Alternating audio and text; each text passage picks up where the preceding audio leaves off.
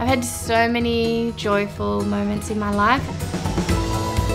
There are like moments when we're dancing around, just having fun. Those are little moments that they fill my heart with joy.